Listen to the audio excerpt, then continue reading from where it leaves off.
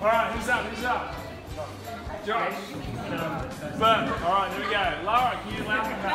That was loud. Alright, Chris. Oh, yeah! oh, yeah!